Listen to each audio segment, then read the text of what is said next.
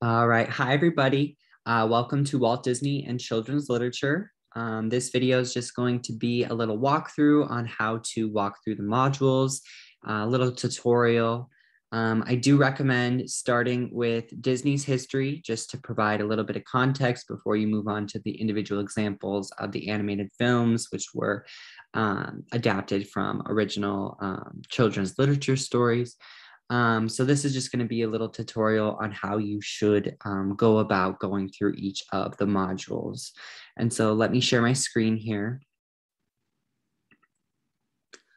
All right, so here is the homepage of the website. And so basically you're gonna go over to the tab that you would like to um, view the module. And so all of them are here.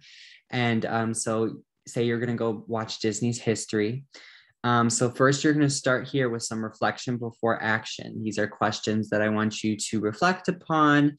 You don't have to think way like too deep deeply about them, but just think about your past experience with um, each example of children's literature or the topic of the module. Um, and so then you don't have to write them down, just keep them kind of in the back of your mind. So then you're going to read, uh, you're going to read um, a little intro to the lecture video, and then you're actually going to watch the lecture video. Um, each lecture video is going to be about 10 to 15 minutes.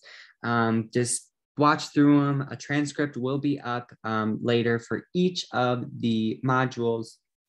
And when you're done, um, watching the lecture video and reading any reading materials that may be posted for that module.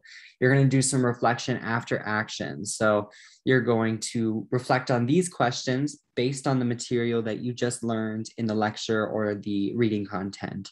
And you're just going to think about that. You're going to bring back your answers to the original questions, see if any of those answers have changed based on the information that you learned or um, if any like any kind of new train of thought if your train of thought is the same if you knew things just kind of a space to reflect on what you're actually learning about before we move on to a different topic. Um, so that's pretty much it. So then you're just going to work your way through all of the modules. Uh, they don't need to be done in order like i said. Just make sure to probably do disney's history first um, and then this video will be in how this site works. Um, so thank you very much. I'll see you in the next video.